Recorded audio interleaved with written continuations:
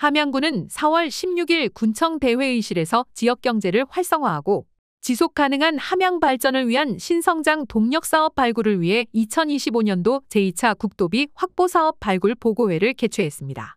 진병영 군수 주관으로 열린 이날 보고회는 지방교부세와 함께 군 재정의 가장 큰 부분을 차지하고 있는 국도비 확보를 위한 대책을 모색하기 위해 마련되었습니다.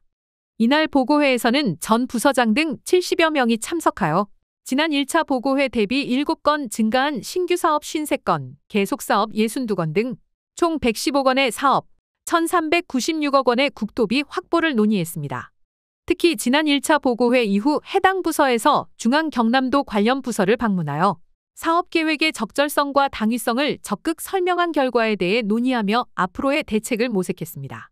함양군은 발굴한 사업에 대해 예산이 확정될 때까지 단계적 대응 전략을 수립하고 중앙부처 및 경남도와 긴밀하게 협의하는 등 국도비 확보에 총력을 쏟을 계획입니다.